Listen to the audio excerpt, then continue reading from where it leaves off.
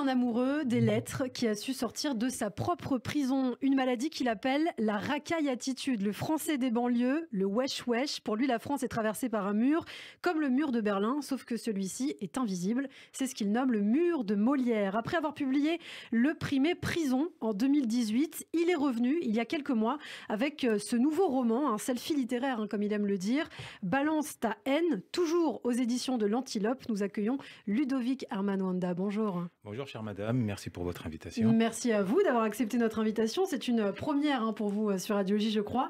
Alors, avant de parler de vos livres et de l'actualité, qui sont aussi liés, on va le voir, j'aimerais qu'on en sache d'abord bah, un, petit peu plus sur vous, car beaucoup ne vous connaissent pas forcément ici sur Radio J. Et j'aimerais eh bien pour commencer qu'on évoque vos racines, puisque c'est le début de tout, hein, les, origines. Là où d'autres seraient tentés de renoncer, l'aristocrate Bamileke se doit de trouver en lui les ressources pour transformer les embûches en tremplin. C'est ce que vous déclariez euh, récemment dans une interview vous parlez donc de vos origines camerounaises. Certains vous qualifient même de prince, de prince camerounais. On s'interroge hein, sur, sur ces racines, sur cette ethnie euh, bamileke que vous dites aussi peut-être descendante d'une tribu perdue d'Israël. Alors, on met directement les pieds dans le plat eh avec la question euh, centrale, la question de la racine. Après, on arrivera aux questions autour des fruits. Concernant mes racines, effectivement, euh, ce n'est pas on dit que je, me reconnais ou j'appartiendrai euh, ou je me réclamerai d'une certaine aristocratie, c'est que je suis issu d'une aristocratie camerounaise, en particulier de l'ethnie Bamileke, aussi bien du côté de, moi, de ma mère, Bangwa, que de mon père, Bagante, donc le nom des ethnies. Et par, par mon grand-père, mes deux grands-pères, je suis euh, bah, petit-fils de roi et par conséquent je suis ah prince. Donc c'est un statut euh, reconnu. C'est un vrai prince. Voilà, euh, double prince si je puis dire, reconnu chez moi au Cameroun. Et ce qui me fait sourire, c'est qu'effectivement dans l'imaginaire collectif, en, Occident en particulier, on associe difficilement l'africanité avec avec l'aristocratie, tant et si bien qu'on a souvent l'impression que c'est une blague sortie du film Un prince à New York avec Eddie Murphy, alors que dans les faits ça existe vraiment. Mm. Simplement, il nous manque justement l'imaginaire euh, les symboles euh, tels que Buckingham Palace avec les, mariages princiers pour que euh, tout le monde nous reconnaisse cette, cette capacité, si je puis dire, à incarner la noblesse, au cœur de laquelle se trouvent certains critères, certaines valeurs, que vous avez soulevé, que vous avez évoqué, notamment celui de la combativité et celui d'une haute estime de soi, avec évidemment ses, ses penchants négatifs, mais surtout ses penchants positifs, qui se traduisent par la détermination, par le goût de l'excellence et par euh, essentiellement aussi le souci de l'élégance et de la beauté. Et donc une tribu perdue d'Israël? Alors une tribu perdue d'Israël, je le pense. Ouais. Euh, en toute sincérité, j'en suis même convaincu. Euh, manifestement, certains rabbins euh, partagent cette conviction. vous avez des éléments euh, Il y aurait ah oui, oui, il y aurait certains éléments autour de certaines pratiques. Maintenant, intuitivement, si je puis dire, à mes yeux, ça ne fait aucun doute. Ça ne fait aucun doute. Alors, si on rentre dans la question, mais qu'est-ce que ça veut dire intuitivement, factuellement? Nous, on veut du concret, rien que du concret. L'intuition, on laisse ça à Bergson.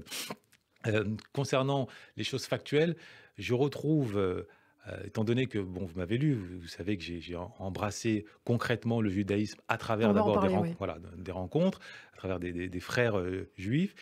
Et euh, intuitivement, il y a une sorte de, j'allais dire, fraternité naturelle, j'ai bien dit naturelle, qui se déploie et qui se retrouve autour bah, des mêmes valeurs, déjà le goût, le goût de la connaissance, qui en place au-dessus de tout, donc on inverse la pyramide de Maslow. Maslow estime que le premier besoin, c'est les besoins primaires euh, euh, alimentaires de santé, le judaïsme a inversé cette pyramide.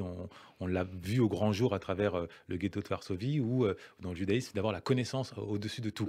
Et il se trouve que cette particularité-là, les, les la cultivent jour après jour, le sens de l'excellence, le, sacrifice des parents à l'égard des enfants. Chez les Bamilékés, vous pouvez avoir tous les millions du monde dans la poche. Si vous n'avez pas un diplôme, vous n'êtes rien mais réellement rien. Vous vous définissez en fonction de vos diplômes. Donc l'étude, le, Talmud, n'est-ce pas, c'est quelque chose qui coule dans les veines aussi euh, des Bamilékés. Après, il y a d'autres, euh, faits plus euh, historiographiques ont été mises en avant, mais je ne suis pas spécialiste en la matière, donc je pourrais En tout cas, beaucoup de, similitudes. Alors, transformer les embûches en tremplin, donc vous l'avez dit, il y a des valeurs ici de, persévérance, et de la persévérance, il en est question dans votre premier livre, donc Prison, euh, qui est en fait le, premier livre d'une trilogie. Hein. On fait la connaissance de votre personnage, Frédéric, vous, en fait, hein, voilà, à peu près il y a 18 ans, un jeune homme qui a, grandi dans la banlieue populaire de Vignes-sur-Seine, près de Paris, qui persévère, mais dans le trafic de drogue, et qui est euh, plutôt doué d'ailleurs euh, dans la matière. Alors je ne sais pas si c'est une question qui vous a déjà été posée, euh, mais qu'est-ce qui vous pousse à l'époque, vous qui êtes en plus un, élève quand même relativement assez brillant, à dealer dans les quartiers riches d'ailleurs de Paris?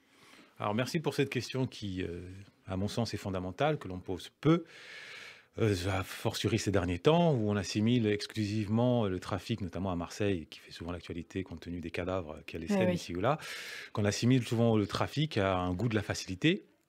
Euh, on appelle ça euh, l'argent facile, n'est-ce pas?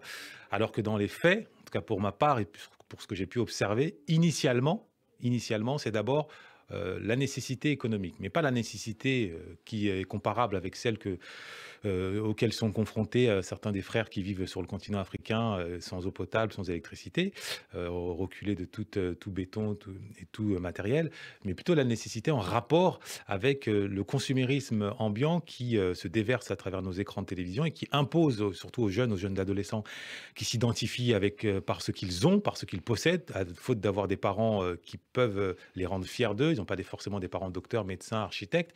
Par conséquent, on s'identifie et on se valorise avec ce qu'on porte en guise de marque ou euh, ce qu'on qu'on consomme. Et c'est pour cette raison que, bah, pour exister, pour, euh, surtout quand on est jeune garçon, pour être bien vu par les, les demoiselles que l'on courtise, euh, n'est pas n'est pas Cyrano de Bergerac qui veut, donc on n'a pas forcément le verbe, il ne reste que le matériel. Ah, et eh bien de ce fait, euh, la seule contrainte, enfin la contrainte, c'est d'avoir un minimum, d'avoir des dernières Air Max, d'avoir les survêtements Lacoste, d'avoir euh, une voiture, et tout ça, ça tombe pas du ciel.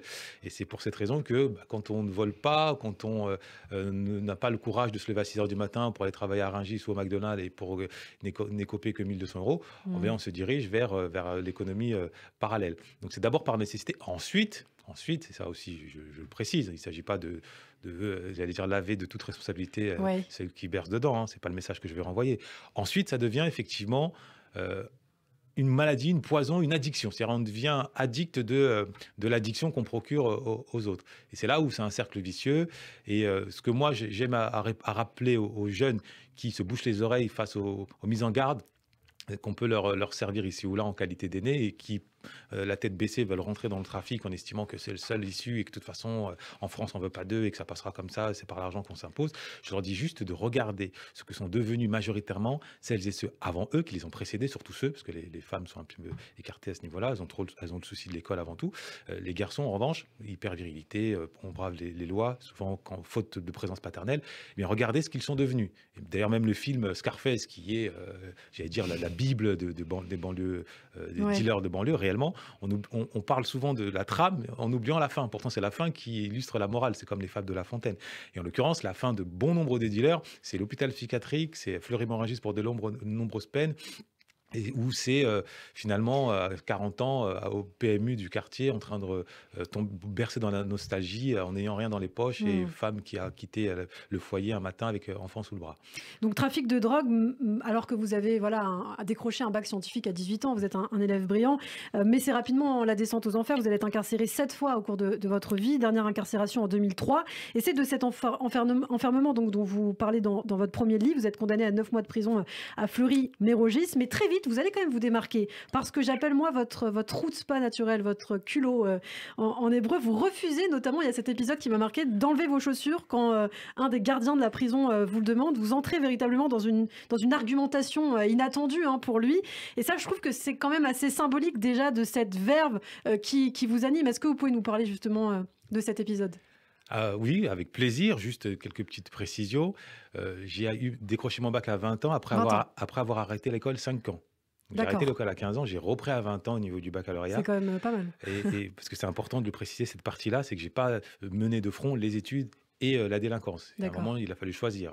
Comme dit Bouba, euh, plutôt que d'être au, Mais vous citez beaucoup Bouba, on va en parler voilà, on va en parler aussi. Bon, j'étais au lieu d'être devant de la classe, j'étais au front, devant euh, des, bagarres et des, guerres de cité. Donc pendant 5 ans, à 20 ans, je retrouve le chemin de l'école, je décroche mon bac tant bien que mal, j'ai bien dit tant bien que mal, et au fil des justement de ma reconquête de moi, j'ai récupéré mes capacités perdues. Donc c'est aussi pour souligner que la rue, ça vous phagocyte le cerveau contrairement à ce que l'on pense.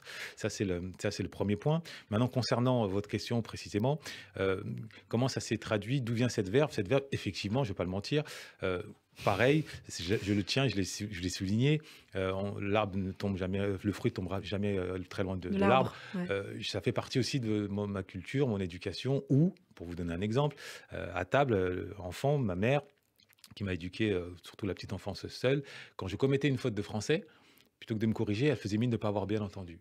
Ah, pardon, je n'entends pas. Pour, vous, pour que vous puissiez vous reprendre vous-même. Voilà, pour que je puisse me reprendre moi-même et par conséquent que je puisse moi-même m'entendre entendre les mots et avoir le souci euh, du bon mot. Et ça, ça m'a, euh, du coup, ça m'a forcément propulsé vers ce, goût euh, mmh. du bon mot d'abord. Et ensuite, pareil, dans la culture camerounaise au sens large, pas uniquement bamiliqué, je suis pas là pour faire du tribalisme, hein, loin s'en faut. vous allez au Cameroun, vous allez vous apercevoir notamment au niveau des chauffeurs taxi, que tout le monde s'invective, sans insultes violentes, mais en tout cas tout le monde s'invective. En revanche, si vous quelqu'un cède à la violence physique, là c'est l'indignation collective. C'est-à-dire qu'il y a un culte absolu euh, du verbe et un, et un rejet total de la violence physique. Et ça, c'est très euh, camerounais. Alors, je ne sais pas si d'autres euh, peuples euh, ailleurs le, cultivent. Je sais qu'en Israël aussi, on aime s'écorcher à ce niveau-là. simplement, voilà, au Cameroun, c'est très, très, ça fait vraiment partie du paysage, de l'ADN et du comportement. En tout cas, en prison, vous allez prendre conscience qui, très vite qu'il y a deux mondes, hein, deux vrais univers qui, qui s'opposent, le français académique et la, langue des banlieues, donc la porte d'entrée du diable, hein, comme vous l'écrivez. Cette langue qui ne contient que 300 mots, je vous cite. Et ça, vous vous en, vous, vous en rendez compte notamment grâce à un, un certain Richard. Richard Darmon, votre co-détenu juif, un toxicomane. À l'allure, vous écrivez d'une seringue usagée. Bon, c'est pas très sympathique, mais c'est ce ah, C'est vrai. C'est ce qu'il très vrai. C'est une métaphore qui Et lui, euh, il vous fait comprendre en fait que vous valez mieux donc que des wesh placés entre deux phrases. C'est lui qui vous fait comprendre tout ça en fait. Alors, effectivement, deux choses. Il y a d'abord euh, effectivement le constat et ensuite la prise de conscience. Le constat, bien que j'ai pas mis le, diagnostic dessus, euh, c'est dressé devant moi face un juge des libertés, c'est le, passage institutionnel euh, avant la casse-prison, une personne qui décide factuellement, bon, je vous mets en, détention, il faut quand même vous poser la question, pourquoi êtes-vous là bon. Et face à un juge des libertés, vous ne pouvez pas employer le langage, vous en avez conscience à ce moment-là, que vous utilisez avec vos amis au KFC, euh, Châtelet, que sais-je. à ce moment-là, vous vous concentrez, vous dites, je vais parler comme Patrick Poivre d'abord, tout va venir fluide. C'est normal, j'entends ça toute la journée, donc forcément, c'est en moi. hélas, il y a un décalage entre ce que vous entendez et ce que vous pouvez produire. Donc ça, c'est le premier constat. Et pour ce constat-là, vous l'observez au tribunal, euh, lorsqu'il y a des comparaisons immédiates, vous voyez tous les Moussa, tous les Mamadou qui sont là pour euh, des, faits anodins, parfois ou graves, dans la capacité de, s'exprimer. C'est pas par manque de volonté, quoique pour certains, mais globalement, c'est par incapacité verbale. Et c'est le drame de la France, mais on reviendra dessus plus tard. Mmh. Et pour ce qui me concerne, j'ai été confronté déjà à ce premier constat, et ensuite, en cellule, au, au contact de Richard, qui lui n'a pas, pas grandi en banlieue, il a grandi une classe populaire, mais ce n'est pas la banlieue, ce n'est pas l'endroit où est chisé. Euh, eh bien, quand j'utilisais ce langage-là, alors qu'on avait déjà entamé le, chemin vers la Renaissance via la lecture, quand j'utilisais, que je me laissais aller à utiliser le, langage wesh, il hmm. s'est heurté, il m'a fait comprendre de comment ça pouvait euh, dégager de la laideur et il se demandait pourquoi je continuais encore à, cultiver cette laideur alors même que j'avais la possibilité, contrairement à beaucoup d'autres, eh bien de m'en extraire. Donc ça a été vraiment à ce niveau-là l'électrochoc, la, la, prise de conscience que euh, fondamentalement, déjà de un, le wesh, c'était pas juste, un, contrairement à ce que l'on dit, euh, un outil culturel, un, langage comme au même titre que le langage familier d'un bigard ou le langage soutenu. Euh, euh, non, c'était une prison, c'était un enfermement qui empêchait à la liberté de l'esprit et par extension du corps de se déployer. Et ça a été vraiment le, point de départ de beaucoup de choses. D'abord, cette rencontre vous a quand même bousculé, hein, on peut le dire carrément bousculé, même aussi dans vos préjugés. Quand on pense à la prison, on ne pense pas y voir un juif ce que vous dites. Et pourtant, Richard est bien là, et c'est avec lui que vous allez euh, avoir d'intenses conversations philosophiques. Tous les deux, vous prenez véritablement d'amour pour les lettres, hein, lui aussi. Ça va être votre binôme de yeshiva. Et d'ailleurs, quand il vous dit ça, euh, vous comprenez pas tout de suite ce que ça signifie. J'ai fait un jeu de mots, effectivement. Alors, deux observations sur ce que vous dites. Effectivement, euh, la première, au-delà de l'anecdote, j'ai dire un peu cocasse, ça renvoie, ça renvoie à une réalité qui, qui, qui entache, si je puis dire, la, banlieue, euh, la banlieue noire et arabe, il faut dire les mots, euh, c'est euh, qui s'est traduit par l'effet barbare causé par justement le gang éponyme, le gang des barbares de Youssouf Fofana, c'est qu'en banlieue, juif égale riche. C'est automatique. On ne se pose pas la question. Pourquoi? Parce que juif, c'est Rothschild et c'est factuel.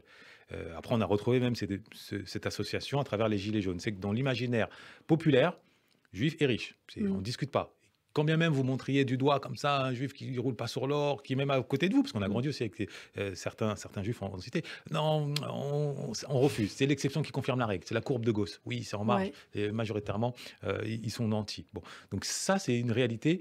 Euh, si bien que quand vous arrivez en prison, qui est, on peut dire, quoi qu'on dise, hein, c'est la poubelle sociale. C'est vraiment, il n'y a pas les fils de Bolloré en, prison. Il n'y a pas les, bon, pas les fils de que, que sais-je. Globalement, socialement, il n'y a pas les nantis. Donc quand vous tombez sur un juif, vous dites, tiens, qu'est-ce qu'il fait là? Euh, alors oui. de temps en temps, vous entendez certains juifs se prêter à des escroqueries, sauf qu'on on va, on bascule, on, on, atterrit rarement en prison pour escroquerie. Sinon, une grande partie de la classe politique aussi s'y retrouverait. Oh, bon, euh, je ne suis pas venu faire la polémique politique, mais c'est pour dire que, que réellement en prison, c'est souvent, voilà, normalement, euh, ceux qui les battent, les battent du, le fond du panier. Et quand j'atterris, je retrouve un Richard Darmon en plus de sa appartenance sociale, sa condition physique, seringue usagé, toxicomane, euh, effectivement, je tombe des nues. Parce que vous aviez dans votre imaginaire euh, tout cela. C'est ça. Euh, donc, vous utilisez beaucoup le terme de yeshivaïser aussi. Donc, ça, c'est amusant. Votre volonté de yeshivaïser la France, vous pensez que c'est nécessaire C'est pour moi, hein, c'est, ça serait une solution vitale. Après, l'école au, au, lycée essaye un petit peu de s'y prêter à travers les dissertations, notamment lorsqu'elle impose la dialectique hegelienne, thèse, antithèse, synthèse. Sauf que à la différence des yeshivas, ça ne s'opère pas à deux, dans une logique de discussion.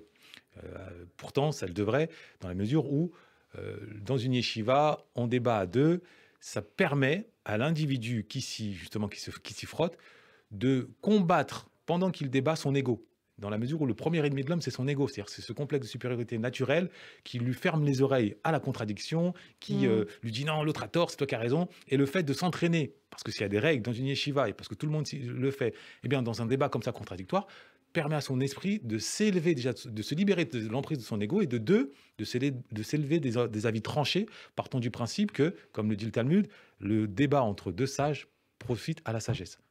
C'est que de dire que c'est pas le rabbin ou tel rabbin qui a raison, non, c'est justement la confrontation des deux qui fait jaillir la lumière. Votre amour des lettres va donc vous diriger naturellement vers le judaïsme, même si finalement, vous le dites à demi-mot, c'était déjà un petit peu à l'intérieur de vous, à travers vos racines. Vous écrivez le judaïsme, c'est le dieu de la vérité logique, la culture du pourquoi, la culture du mot. Mon identité commence par le bon mot. Plus qu'une religion, on le comprend pour vous, le judaïsme, c'est un, mode de pensée, en fait, hein, une façon de voir le monde. Et finalement, eh bien, c'est un petit peu aussi le remède eh bien, euh, à votre maladie, de, cette racaille attitude à l'époque, hein, l'étude des mots et des concepts. Exactement. C'est d'ailleurs pour ça que parfois il m'arrive d'en vouloir euh, euh, à des rabbins. Parce ah que j'estime que si demain euh, le monde entier se convertissait ou en tout cas devenait juif, tout le monde s'en porterait bien. Pour la simple et bonne raison que on, le sait aujourd'hui dans la psycholinguistique, que dans derrière 90% des disputes se cache une incompréhension, un manque de communication. Autrement dit, le verbe. Euh, tout tourne autour du verbe. Et le judaïsme, qu'est-ce que c'est? Si sinon, justement, la culture, au-delà de la réflexion par le biais du pourquoi, évidemment, chercher les racines, les, causes, et non pas juste euh, mettre l'accent sur les, faits et les condamner avec émotion. Non, on cherche les racines de manière rationnelle. Au-delà de ce, ce paramètre-là, qui est certes important, eh bien, s'ajoute euh, cette fois-ci la culture du mot, mm. l'origine du mot, la philologie. Euh, on décortique les mots et en décortiquant les mots, on s'aperçoit qu'on découvre finalement euh, par le biais la vérité dévoilée. Donc c'est la mm. Et en, l'occurrence, c'est quelque chose qui, pour moi, me, parle beaucoup et je vous donne un exemple pour vous dire combien c'est fondamental et tout le monde aurait intérêt, du moins, à se plonger dans cette pratique-là. le mot enfant. Quand je donne, parce que je suis formateur également en, maîtrise du langage soutenu, quand j'explique, je, demande à mes clients, à mes élèves, qu'est-ce que signifie le mot enfant tout le monde me dit ah enfant euh, indépendant, euh, euh, émotionnel, etc. Ok très bien. Il me donne toutes les, explications sauf la bonne, qui renvoie à l'étymologie. Enfant signifie infant sans la parole. En d'autres termes, devenir adulte, c'est pas prendre de l'âge, c'est tout simplement acquérir la parole. Voilà. Et quand vous comprenez ça, vous mesurez l'importance de l'acquisition de la parole. Et pourquoi dans le judaïsme notamment eh bien, on met autant l'accent, notamment par exemple, je sais que les, mères ashkénazes euh, concoctent, je ne sais pas si c'est une légende ou pas, mais concoctent des gâteaux euh, euh, aux allures de lettres pour permettre, quand elles donnent à des enfants, qu'ils prennent le goût justement du gâteau et du bon mot. Donc le souci, si vous voulez éduquer un enfant, euh, lui donner toutes les armes pour s'émanciper, pour rester dans la vie, il faut d'abord lui donner le goût du mot. Mm. Et ça, c'est le judaïsme, en l'occurrence, qui me l'a appris. Et religion qui met en avant la vérité plutôt que l'autorité, comme on peut le voir euh, en islam, où souvent il est préconisé d'apprendre par cœur, alors qu'on le sait que dans, le judaïsme, par exemple, dire une prière, on ne doit pas le faire par cœur, on doit la lire vraiment euh, avec son, son texte. Exactement. Alors là, vous mettez les doigts. Alors là, c'est un sujet très sensible, et mis en comparaison islam-judaïsme. Je l'ai fait dans le livre, hein, donc je, je Et ben, on rejoins. peut se poser la question pourquoi, par exemple, vous ne vous intéressez pas à l'islam, Ouais. au christianisme, mais Ouais. vraiment au judaïsme Ah oui, non, mais je le dis dans le livre, donc Ouais. vous avez bien fait de le souligner. hein. Je, je vous taquinais un petit peu, vous avez raison, mais c'est par les temps qui courent, euh, il ne s'agit pas de dénigrer l'un au profit de l'autre parce que Ouais. ce serait mal perçu. Donc, euh, pour les oreilles qui se froisseraient, nous- je m'en excuse, c'est pas l'objet. L'objet est de dire quelles sont les différences entre notamment l'islam et le judaïsme. Et j'ai également souligné le, le catholicisme dans l'ouvrage, mais s'agissant de l'islam et le judaïsme, il y a une différence qui ensuite euh, génère une sorte de complémentarité. On y reviendra. Mais s'agissant de la différence, ce que j'ai pu comprendre, c'est que le judaïsme voit un culte euh, à la vérité et non pas à l'autorité de celui qui l'a produit. C'est-à-dire que c'est pas le professeur qui a raison, c'est ce qu'il dit qui est important. Donc, et ce qu'il dit peut être mis en question. Donc, on écoute ce qu'il dit. Là où dans l'islam, c'est le professeur. Son statut euh, lui confère déjà une autorité et tout ce qui sort de sa bouche, on doit avoir raison. Alors, l'avantage du judaïsme de ce point de vue-là, c'est que euh, on, on ne met jamais son cerveau en veille. On, ac- on l'active en permanence avec cette fameuse blague que vous connaissez sûrement, euh, dix rabbins débattent, neuf sont du même avis, un autre est en opposition, il dit Mais c'est moi qui ai raison, c'est moi qui ai raison, Euh, Dieu vient m'aider, apparemment Dieu vient, Dieu se met du côté du rabbin tout seul, il dit voilà, euh, il a raison, les, les rabbins ils disent mais alors, ça fait quoi, on est neuf, vous êtes deux Bon, voilà, moi j'adore cette, euh, cette petite blague qui dit tout à mon sens du judaïsme, Mhm. Tant que vous démontrez pas, vous n'arrivez pas à convaincre par, le logos, par la rationalité, euh, vous, vous n'avez pas la vérité. Et, qui, et qui- laquelle n'est jamais finie, évidemment, parce qu'on peut toujours prolonger. C'est pour cette raison que le judaïsme est la religion du progrès. On se propulse toujours vers l'avant. Certes, on cultive les racines, mais on est toujours dans une propulsion de l'avant. Oui. Pourquoi? Au nom du tikkun oulam, la réparation de l'homme et du monde, et donc on se propulse dans l'avant. Là où, dans l'islam, c'est plutôt l'inverse. On est attaché à l'autorité. Euh, maintenant, l'aspect positif, parce qu'un aspect positif, c'est qu'on n'a pas l'esprit révolutionnaire. C'est-à-dire qu'on est dans, on accepte l'ordre tel qu'il est. Mm. Maintenant, l'aspect négatif, c'est que si la personne qui se prétend l'autorité, bah, finalement, n'est pas compétente, Il n'y a pas d'évolution voilà, possible. il n'y a pas Eh oui. d'évolution possible, ou pire, on va dans le mur, on l'a vu avec euh, bah, ce qui se passe quand les extrémistes, les jeunes de Bien 20 ans un peu perdus se laissent entraîner par tel ou tel euh, idéologue, qui Ouais. bizarrement, lui, il prend jamais les armes, bon, allez savoir pourquoi, et là, euh, eux, se contentant juste de dire, ah, c'est lui notre chef, on obéit, euh, au bout du compte, ils sacrifient leur vie, ils sacrifient leur destin, pour pas grand-chose à l'arrivée, pendant que euh, le, le- celui qui les a envoyés au front continue à siroter du thé et, et une chicha. Bon. Alors, vous parliez d'antisémitisme hein, tout à l'heure, ça c'est très intéressant. J'ai noté notamment ces, ces passages, page 225 dans Prison, quand vous parlez avec un détenu d'origine africaine qui vous demande si c'est vrai que vous êtes sioniste. Euh, vous allez lui répondre oui, en somme, hein, et surtout vous allez lui répondre par une autre question, ce qu'on aime beaucoup euh, dans, dans le peuple juif. Pourquoi tu parles des Palestiniens alors que tu ne t'intéresses pas, par exemple, à ce qui se passe au Congo? C'est ce que vous allez lui dire. Il se retrouvera finalement bah, un petit peu béat, et vous, vous comprenez pourquoi euh, aujourd'hui Israël suscite autant de, de haine, de ressentiment? Comprendre au sens rationnel, oui. Pas au comprendre au sens de justifier. Comprendre au sens rationnel, oui. Je comprends. J'ai grandi dans, en, en banlieue, euh, jusqu'à 20 ans du moins, factuellement. Euh, D'où vient cette haine? C'est d'abord, elle naît. euh, D'ailleurs, ça, fait, ça raccroche euh, la discussion tout à l'heure où on assimile le juif au riche. Ça, ça raccroche à cela. C'est que ça vient Mhm. d'abord, le terreau est d'abord de caractère social. Euh, L'ennui, c'est que, par exemple, quand on est pauvre, on voue euh, d'abord soit une admiration aux riches, on veut limiter, Hmm. soit un rejet. Euh, on l'accuse de tous les maux, il est forcément le méchant. Or, la culture française, à la différence de la culture anglo-saxonne, euh, voit d'un mauvais œil, forcément l'héritage du catholicisme, voit d'un mauvais œil l'argent. Donc, celui qui a de l'argent est forcément euh, Mm. le méchant. Bon, donc le riche est forcément quelqu'un, à l'homme à abattre. Maintenant, quand le riche est majoritaire, vous vous Mm. sentez impuissant. Alors que, à côté de ça, si le riche est minoritaire, là, vous pouvez euh, vous en donner à cœur joie. Il se trouve que dans l'imaginaire, le juif incarne à la fois le riche et à la fois le minoritaire. Le minoritaire en termes de nombre, mais le minoritaire en termes de virilité, en termes de physique. Il incarne aussi le- la, la victime de tout temps. Ça, c'est la première chose.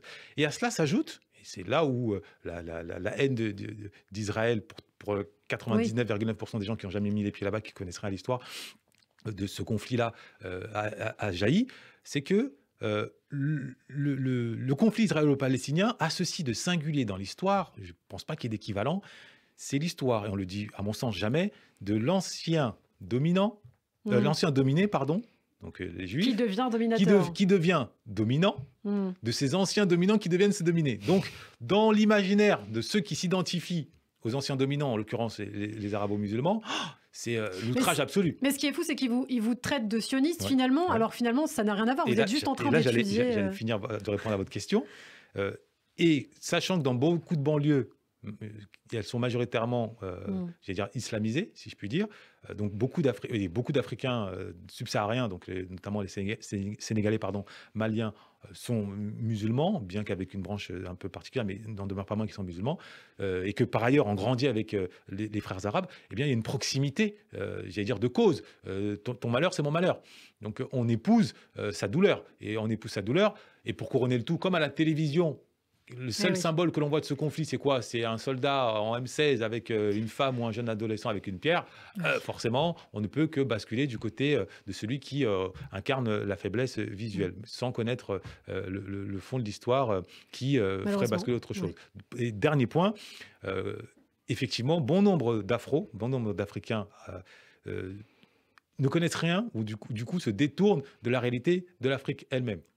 Mm. Donc effectivement, on peut pleurer. Moi, je ne suis pas en train de décerner les bons et les mauvais points. On peut pleurer pour le sort des Palestiniens. Et il y a des raisons de le faire. Simplement, si tu es africain, euh, c'est comme si tu veux pleurer d'abord sur quelqu'un, pleure d'abord sur euh, ce qui se passe chez toi, à la limite. Ouais, et ça, c'est aussi intéressant parce que vous écrivez aussi les Juifs et les Noirs ont été au cœur du laboratoire de l'inhumanité. On Mm. entend beaucoup voilà, ce discours chez les Africains. Mhm. Pourtant, les Juifs et les Noirs se ressemblent beaucoup. C'est vrai, mais c'est vrai qu'on voilà, on a tendance à, à penser blanc et juif d'un côté, noir et arabe musulman de l'autre.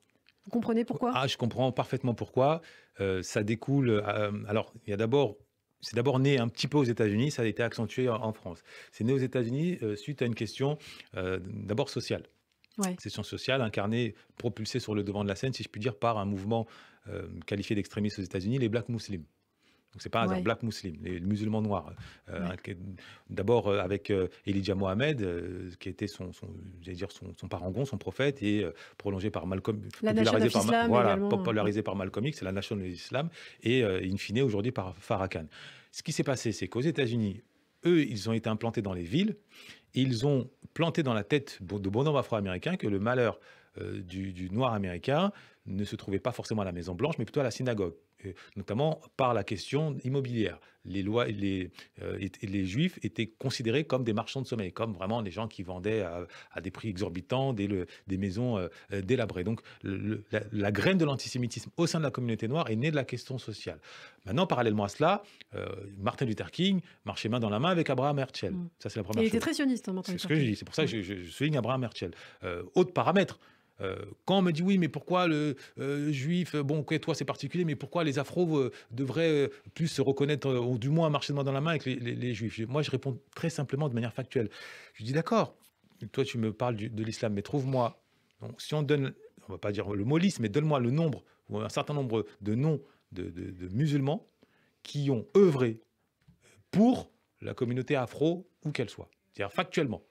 Euh, moi, je peux te citer, donc je dis Abraham Herzl, je peux te citer Abel Miropol, l'auteur de la lettre euh, de, de- de la chanson euh, Strange Food de Billie Holiday. Je peux, je peux te citer euh, Mervyn Herskovitz, très important, Melvin euh, premier sociologue qui s'est intéressé à la question afro-américaine et qui a publié en 1950 1955 euh, The Myth of the Negro, où il a qui est ouvrage qui a été repris par Martin Luther King. Donc voilà, il y a c'est- c'est- Mm. cette, cette- cette réalité-là, cette utilité-là, cet apport-là de, de- de certains juifs à l'émancipation, à la cause afro est indiscutable. L'ennui, c'est qu'en France, on l'entend peu et il faut bien dire que l'affaire euh, Dieudonné n'a pas aidé à ce qu'on l'entende davantage. Justement, euh, j'allais parler de Dieudonné, Dieudonné, Kémy Seba, hein, ce sont ces, ces idéologues voilà, qui, euh, qui prônent toutes ces idées. La Ligue de défense noire africaine également, qui, qui vient d'être dissoute par le gouvernement, qui appelait au déboulonnage de statuts, la cancel culture. Bon, alors ça, c'est un autre sujet. Mhm. Est-ce qu'ils jouent, eux, véritablement, tous ces personnages, sur cette victimisation aussi, cette auto-victimisation, cette concurrence victimaire? On a vu que Dieudonné en a fait son business, finalement. Alors, clairement, est-ce qu'ils jouent euh, Est-ce que ce sont tous des idéologues? Je pense que beaucoup sont juste des perroquets de cette idéologie euh, Ouais. venant des États-Unis. Ça, c'est la première chose. Euh, surtout le, le dernier, le leader de la LDNA, il n'a écrit aucun ouvrage, donc on ne peut pas qualifier d'idéologue. Kémy Seba, encore, c'est discutable. Ouais. Dieu, Dieu donné, que j'appelais un temps Diable donné, il a, à mon sens, lui, euh, d'abord, comme beaucoup d'ailleurs de, de- de ceux qui, à un moment donné, ont versé, ou de manière définitive, dans un antisémitisme, il a d'abord été heurté personnellement oui. par un acte qu'il a jugé injuste, perpétré par un juif, et de là, de cette blessure individuelle, il en a ensuite, il l'a greffé à une à l'ensemble du peuple voilà c'est un, peu c'est un peu ce qu'on ce observe quand on regarde les Goebbels. C'est toujours le même schéma. C'est d'abord une blessure personnelle euh, qu'un leader avait nourri en lui, soit dans son adolescence, soit prime, prime adulte, et après il l'a greffé en, en, l'argumentant, en l'habillant d'un argumentaire. Euh, s'agissant donc euh, de tout cela, ils ont essayé clairement de recycler, de remettre à la sauce afro une douleur qui est d'abord, je le répète, qui est d'abord sociale, qui est d'abord sociale. Euh, c'est parce que vous vivez euh, au 15e étage sans ascenseur où ça sent la pisse, si je puis dire, pardonnez-moi l'expression, que vous êtes réceptif à un discours victimaire, mais qui n'est pas propre aux Noirs ou aux Arabes, qui est propre à la classe populaire en France, depuis euh, la Révolution française, depuis les sans-culottes, où l'élite est perçue comme l'ennemi. C'est la fuite du roi à Varennes. Donc, ça, c'est, jusqu'aux Gilets jaunes. C'est cette, ce logiciel-là qui est très français, qui est accentué par un athéisme et qui est traduit par mmh. la phrase de de Jean-Paul Sartre, hein, l'enfer c'est les autres. C'est très français. Donc cette victimisation, oui, elle est très française, elle est euh, décuplé dans la classe populaire et euh, dans la classe arabo-musulmane, si je puis dire, euh, arabo-musulmane et afro, elle est omniprésente puisqu'ils sont globalement les derniers sur l'échelle sociale. Alors c'est très intéressant, on parle donc de, de Dieudonné, de Kémy Seba, de certains idéologues. Vous citiez tout à l'heure Booba. Alors le rap, c'est vraiment très intéressant. Je pense que c'est un sujet que vous connaissez bien. voilà, le rap aussi pose problème. Parfois, il y a cette chanson notamment qui avait provoqué en 2014 une plainte du Bureau national de vigilance contre l'antisémitisme euh, qui disait, donc chanson de, de Booba, on canarde tout, je cite, pour une cause, Mohamed Merah, Dieu est son âme car seul le crime paye, ou encore bang bang dans vos têtes, on vous rafale, on a le seum, donc on a la rage, comme Merah. Et plus récemment cette année dans la chanson Rapti World d'un Booba rap, ils veulent nous faire comme rats des villes, encerclés comme en Palestine. Est-ce que ces textes aussi contribuent selon vous, euh, ce rap euh, contribue selon vous à l'auto-victimisation des Noirs et des Arabes Alors, essayer de, nier cette affirmation, ce serait comme nier que l'eau, que la pluie mouille. Ouais. C'est, enfin, je veux dire, il y a une grosse part de responsabilité quand ah, même. C'est pas qu'il y a une grosse part. Moi, je le dis tous les jours. Mmh. Euh, je dis tous les jours que.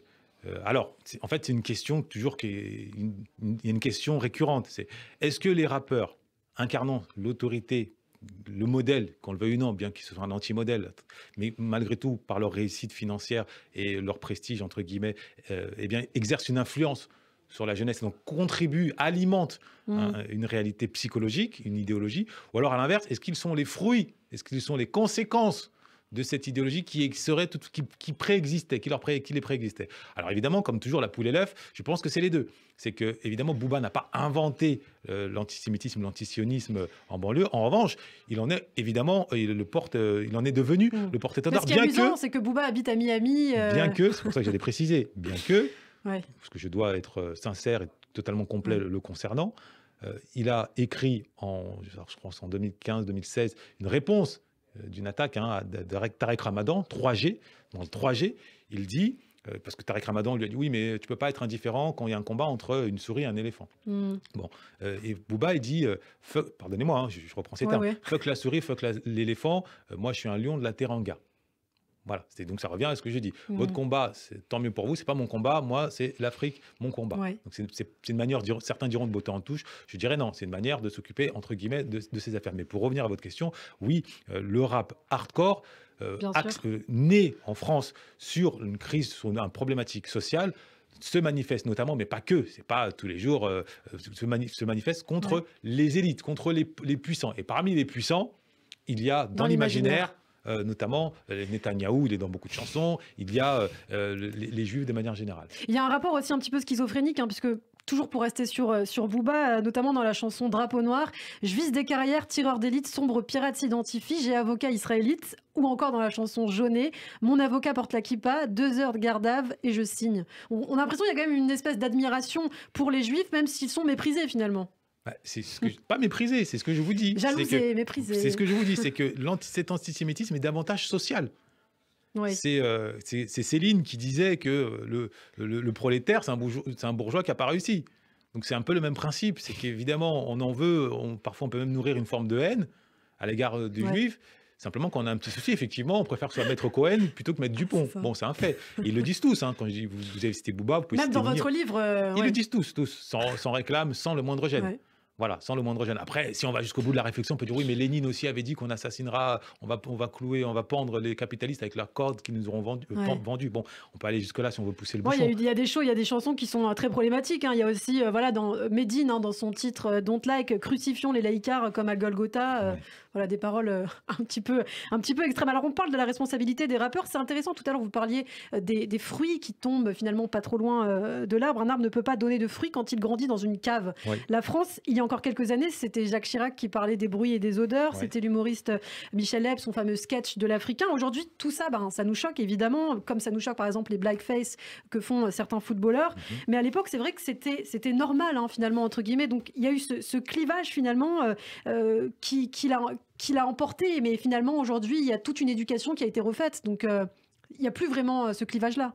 Alors, là, vous mettez euh, alors, vos questions, vous, avez bien, vous avez bien travaillé, hein, si je puis dire. Alors, effectivement, là, vous mettez le doigt sur, à mon sens, hein, la, problématique la plus importante des rapports humains, et en l'occurrence de celle qui mine la France et qui la secoue. C'est celle de l'inconscient collectif, c'est celle de ce qu'on appelle l'impensée culturelle. évoquée par, ce qu'on appelait les néo-philosophes, euh, les Foucault et, et que sais-je. De quoi s'agit-il? Il, s'agit donc l'inconscient collectif, c'est tout ce qui, a, qui constitue, qui euh, va dire structure des comportements, au moins un regard sur l'autre avec un grand A, mais dont on n'a pas conscience.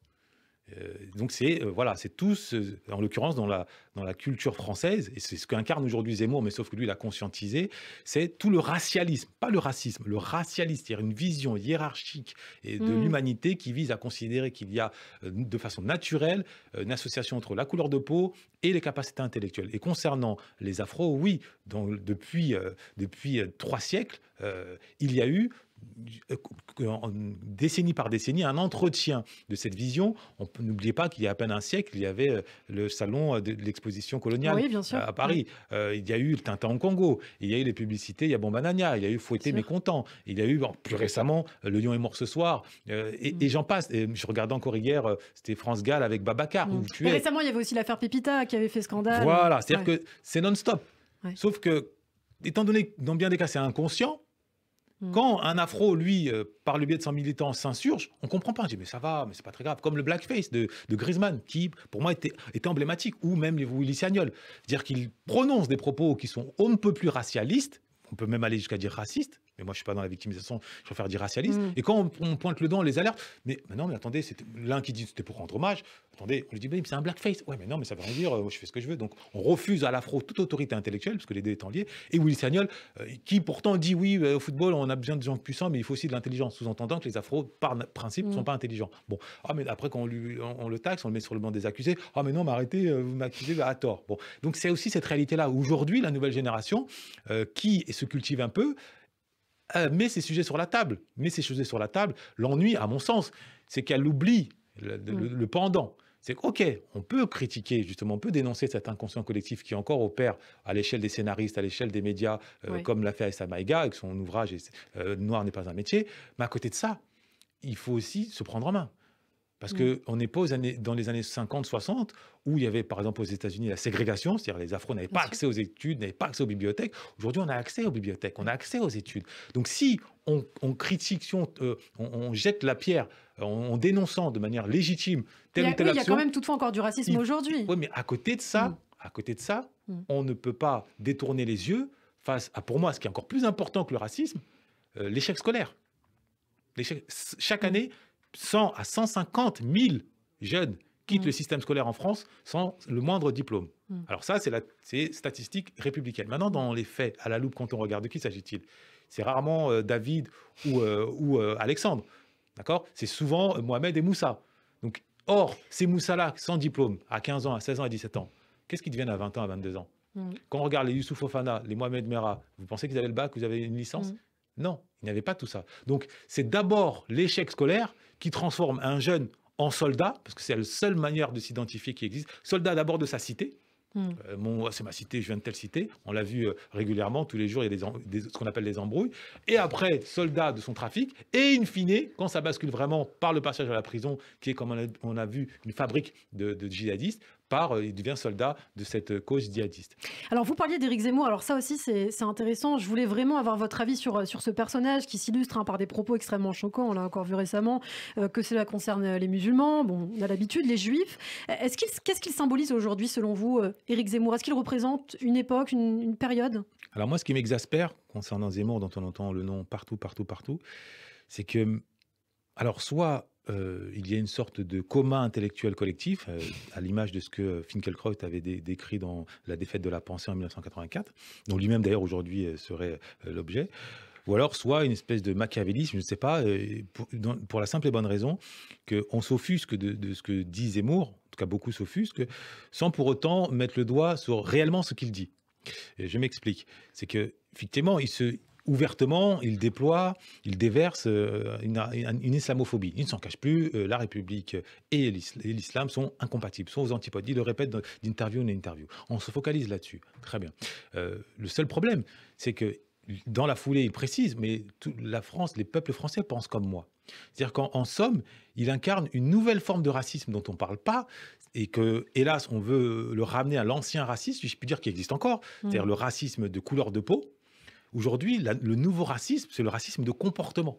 C'est-à-dire que beaucoup de gens sont devenus racistes suite à des mauvaises expériences, euh, à une agression, à une incivilité, à tout un tas d'actions mmh. dont ils ont été victimes et qui les ont fait basculer par traumatisme, par agacement.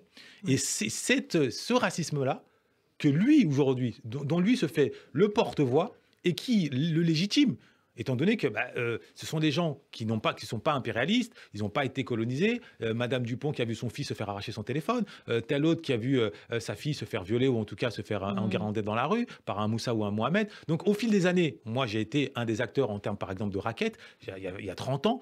je sais que ça s'est pas arrêté depuis. Donc en, en l'espace de 30-40 ans, tout un peu, tout un pays a été de près ou de loin touché, de près, c'est-à-dire personnellement, de loin mmh. par témoignage. Et ça, Zemmour, il se fait le porte-voix de cette réalité. C'est-à-dire, en gros, il dénonce. Euh, moi, ce que je lui reproche, c'est qu'il met l'accent, ou en tout cas, il fait porter le chapeau à l'islam, alors que, et ça, j'en parle dans prison, le chapeau doit être fait porter à une maladie, la kaira attitude. C'est pas parce qu'il est musulman qu'un jeune Moussa, un jeune Mohamed euh, raquette dépouille. C'est pas un djihadisme civil. Non, c'est parce que c'est une kaira. Et pourquoi c'est une kaira Là, vous, vous, avez vu mon analyse. C'est euh, le contexte à la fois social, euh, l'absence de parents. Même plus loin, selon lui, ça vient déjà des racines. C'est pour ça que je dis. Quand il parlait des prénoms avec Absat aussi. C'est pour ça que je dis ça. C'est-à-dire que lui, il, il, racialise la délinquance. Et il la renvoie à un combat millénaire. Alors que dans les faits, déjà de 1, si on connaît un peu l'histoire du monde, on sait bien qu'à Ciudad Juarez, au Mexique, il y a beaucoup plus de violence qu'à Grigny-la-Grande-Bande ou au Tarteret. Pourtant, mm. là-bas, il n'y a ni de Moussa ni de Mohamed. Ça, c'est la première chose. Deuxièmement, euh, si, il veut, si on veut qu'aujourd'hui, les Moussa et les, Mohamed, puissent s'intégrer selon le mode de vie, non pas français comme il prétend, non, occidental, c'est-à-dire individualiste avec ses bons aspects, c'est-à-dire le rapport à l'amour, à la séduction, encore faut-il qu'il en ait la capacité, c'est-à-dire la capacité, pour reprendre un terme d'Amartya Et cette capacité vient d'où? Le langage. Hmm. Vivre ensemble, c'est parler ensemble. Quand on a 300 mots, on ne peut pas parler ensemble, on ne peut pas séduire. Donc on, on, agresse les filles dans la rue, on ne peut pas débattre. Donc en cas de première tension, on bascule dans la violence. Le langage, il y a aussi l'esthétique. Black dandy, c'est comme ça qu'on vous a appelé. Euh, important aussi d'être propre sur soi. Et dans le judaïsme, c'est d'ailleurs une vertu. Bien s'habiller, c'est respecter les autres. Et ça, vous le dites, c'est une autre prison pour les jeunes de banlieue. La prison esthétique, celle qui les enferme dans un moule, basket sur vête. Euh, même jusque dans l'apparence, finalement, il y a cet enfermement. quoi. Ah oui, l'enfermement, il, il rentre dans tous les aspects de la vie. Alors, je précise encore une fois, je ne suis pas en train de limiter l'enfermement à la banlieue. D'autres sphères de la population sont dans des enfermements. L'enfermement économique, quand on est cupide, l'enfermement de l'amour, quand on est épris, etc. Bon, maintenant, s'agissant de votre question, effectivement, la attitude n'est pas vécue, et c'est le grand drame, comme une maladie, elle est vécue comme une fierté, comme une identité, comme une forteresse. Donc les jeunes, non seulement s'en réclament, mais et là, on revient au modèle incarné par les rappeurs, euh, étant donné qu'ils véhiculent avec sourire et euh, volonté ces images-là, ces codes-là, ben, les jeunes estiment que ce sont les bons codes. Qui, et ce sont les codes de l'hypervirilité. C'est ça. Et cette hypervirilité, on la retrouve depuis la Grèce antique, depuis, c'est les Spartacus, c'est les gladiateurs, c'est les Spartiates. Il y a deux virilités. Il y a la virilité par le corps et la virilité par l'esprit. L'Occident, au détour de la Renaissance, progressivement s'est converti, a converti la virilité du corps à la virilité de l'esprit. Donc aujourd'hui, les virils, c'est par les diplômes, c'est par la rationalité. C'est un, Zemmour ou un Sarkozy mm. sont beaucoup plus virils euh, qu'un Teddy Riner ou un Mike Tyson selon les codes euh, aujourd'hui de la société occidentale qui est devenue mondialisée. Maintenant, les jeunes, quand ils n'ont pas les mots et les armes pour rentrer dans cette virilité-là, bah, ils, cèdent à la virilité ancestrale du corps et qui se traduit aussi par le port du pull à capuche, par une attitude hostile, et ce qui est bien quand on a 18 ans, mais qui a 25 ans, vire au cauchemar. Alors, prison linguistique, prison esthétique, donc la virilité avant tout. Un vrai mec, c'est un mec euh, qui parle mal, euh, qui enchaîne les conquêtes, qui finalement bah, traite les femmes comme des objets. D'ailleurs, dans, dans, les clips de rap, on, y revient, c'est ça, c'est des filles à moitié nues euh, sur des voitures de luxe, dans des positions un peu lascives, avec voilà ces hommes, ces rappeurs qui sont très forts, très musclés, bourrés de testostérone. C'est cette culture-là aussi que vous dénoncez d'ailleurs dans votre nouveau livre, Balance ta haine. Exactement, c'est le, fil conduit, le fil rouge de, Balance ta haine, qui d'une certaine façon fait écho à l'ouvrage à l'essai très très riche d'Olivia Gazalet sur le mythe de la virilité, où elle explique très bien, euh, comme personne, euh, comment euh, justement ce mythe, comment se traduit ce mythe de l'hypervirilité, notamment par un excès de, conquête féminine, mm. par une musculature abondante. Donc les sites pornographiques aussi ont leur responsabilité. Évidemment, l'hypersexualisation mm. via notamment les sites pornographiques, à travers lesquels les, offres, les hommes offrent rarement des roses, font, sont rarement câlins, effectivement, réduisent les femmes à des objets d'assouvissement de leur, de leur propre pulsion. Donc oui, cette culture de euh, domine en banlieue, offre euh, une illusion d'existence à certains jeunes, mais surtout comble, je répète encore une fois, comble un manque. Les jeunes ne savent pas parler correctement. Donc quand on ne sait pas parler, on l'a vu dans balance ton langage de porc avant balance ton porc. Hein. Voilà, merci. C'est exactement ça. Vous m'avez bien lu, hein. vraiment, je suis, épaté. C'est exactement ça. Tant que les jeunes seront enfermés dans un langage de porc avec ces 300 mots, 300 mots, c'est pas c'est pas le folklorique, 300 mots de vocabulaire, c'est la réalité des jeunes de banlieue, mm. aussi bien en France qu'aux États-Unis qu'au Brésil. Tant qu'ils seront enfermés là-dedans, ils ne pourront pas s'extraire de cette hypervirilité qui, elle, justement, euh, se nourrit de cette absence de mots. On n'a pas besoin de parler quand il s'agit de cogner. On n'a pas besoin. On agit, entre guillemets. Alors qu'une fois qu'on sait maîtriser le langage, on réalise à ce moment-là que euh, le rapport on au sort de son animalité. On sort de son animalité. C'est lorsque vous retournez au Cameroun, vers vos racines africaines, finalement, que vous faites finalement votre mea culpa intérieur par rapport aux femmes, par rapport voilà, à ce que vous venez d'expliquer. Pour quelle raison? Qu'est-ce qui s'est passé au Cameroun? Alors c'était une allégorie, une métaphore, c'est pour dire d'une certaine façon que euh, alors, l'histoire, c'est l'un don Juan euh, qui se veut féministe, qui se veut républicain, qui euh, porte haut le drapeau de la Renaissance par le verbe, par la, connaissance. Sauf que son côté donjuaniste est empreint d'hypervirilité et empreint de justement ce travers-là qui le poursuit, cette hyperconsommation sexuelle et qui va de pair évidemment par une certaine une chosification euh, de la femme et qui se traduit par euh, un langage cru, très très cru, quand dans son imaginaire du moins ou quand il parle avec ses alter ego euh, hommes qui ont grandi avec lui, quand il parle de, des femmes. Donc il chosifie la femme de manière crue comme un rappeur. et au Cameroun, c'est-à-dire là où il n'y a pas la banlieue parisienne, là où, il y a d'autres réalités ancestrales, si je puis dire, au village, à ce moment-là, effectivement, il s'aperçoit que lui qui croyait combattre le diable en combattant la wesh attitude, en combattant l'ignorance, il s'aperçoit qu'il en était encore l'objet, non pas cette fois-ci par le langage à proprement dit ou par un comportement violent dans la rue ou agressif de, de Kaira, mais plutôt par son rapport aux femmes.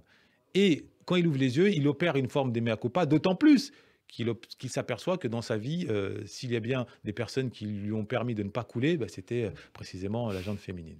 Aujourd'hui, Ludovic Armand-Wanda, vous vous êtes donné une mission, un devoir. Vous êtes enseignant, vous l'avez dit tout à l'heure, coach, hein, je crois, en maîtrise du verbe, de la conversation et de la diplomatie. Alors, en quoi ça consiste? En quoi ça consiste? Alors, factuellement, à donner à tout un chacun la force d'exister par le verbe, euh, la capacité d'être impressionnant par le verbe de forcer le respect sans avoir besoin de, froncer les sourcils. Maintenant, factuellement, en quoi comment ça se traduit? Est-ce que vous savez, par exemple, les conjonctions de coordination ne sont pas bien enseignées, les fameux mais ou oui, Bon, ça, c'est déjà la base. Voilà. Est-ce que vous connaissez euh, des synonymes de mais? Euh, toutefois, cependant, euh, néanmoins. Voilà, cependant, néanmoins, en revanche, par contre, il n'empêche, reste que, en dépit du fait que, malgré le fait que. Voilà. Quand on ne les maîtrise pas, eh bien, prendre la parole longtemps devient une torture, devient une épreuve. J'ai pris l'exemple des conjonctions de coordination, je peux prendre l'exemple des expressions idiomatiques, je peux prendre l'exemple de la communication non violente, fondamentale. Et ces cours-là, vous les donnez euh, de quelle manière? Alors, je les donne en tant qu'entrepreneur, je les donne à des, à des clients qui me contactent ou je les donne, j'interviens dans des centres de formation. Je, littéralement, je transforme la vie des gens en six semaines, en trois mois, à condition que la volonté, parce que le, le patient euh, soigne, mais le patient donne le, le médicament, mais c'est le patient qui guérit. Voilà, donc c'est un travail commun. Prison, Balanstein, aux éditions de l'Antilope. Ce sont donc euh, vos deux livres que l'on peut déjà retrouver en librairie. Un troisième livre est en préparation, je crois, donc ce sera le troisième, euh, oui. la trilogie, ce sera la fin. Est-ce que Frédéric va sortir d'une énième prison? Alors, tout en précisant que les deux ouvrages sont plus d'actualité que jamais. Euh, tous les sujets qui sont abordés aujourd'hui, mhm. Zemmour même est dans l'ouvrage, le diable vrai. est dans la tête de, Zemmour, faut-il le préciser, et il lui fait dire tout ce qu'aujourd'hui on entend dans les médias. Donc, d'une certaine façon, bon, vous allez voir à quel point c'est assez stupéfiant. Mais oui, ces deux ouvrages sont les deux premiers d'une trilogie où, euh, je ne vais pas vous révéler la suite, mais effectivement, c'est encore... Un petit indice pour nous Un petit indice, oui, il va, il, va, euh, il va, se passer beaucoup de choses, beaucoup de rebondissements, et euh, il va renouer avec, avec sa cause première qui est offrir ce que je fais au quotidien aujourd'hui, offrir les clés de la liberté, donc le langage, le langage soutenu, parce qu'on oublie souvent de dire, on dit, oui, la francophonie, tout le monde, il y a 700 locuteurs en francophonie, mmh. c'est faux. Non, il y a trois langues françaises, il n'y en a pas qu'une. Il y a le langage familier, le langage courant, le langage soutenu. Je ne parle même pas de langage wesh. Et quand on, maîtrise le langage euh, familier, on ne maîtrise pas le langage soutenu. Or, le langage soutenu, c'est le langage des institutions, c'est le langage des diplômes, c'est le langage académique, c'est le langage de la noblesse. Et mmh. c'est ce langage-là qui fait défaut aux autres et qui les enferme dans un mépris de classe, qui les enferme dans un manque d'émancipation, loin de l'amour, loin de la communication amoureuse. Une longue, un mariage heureux étant une longue conversation qui a l'air toujours courte. Donc, moi, mon combat, c'est celui-ci. Faire, faire prendre conscience aux gens de l'importance du langage soutenu et euh, pour permettre euh, plus globalement d'apaiser les mmh. tensions et que chacun puisse être la meilleure version mmh. de lui-même par le langage, par l'élégance, autrement dit par la noblesse. Et par l'étude euh, des concepts et des idées. Ah ben ça, pour qui aime, qui est investi d'une mission juive, comme c'est mon cas. un questionnement permanent. Voilà, mais ça c'est pour ceux qui ont vraiment, s'ils veulent se retrousser les manches et qui préfèrent la lecture à Netflix. Merci beaucoup Ludovic Herman Wanda d'avoir répondu à nos questions et je vous, dis à très bientôt sur à Radio très bientôt.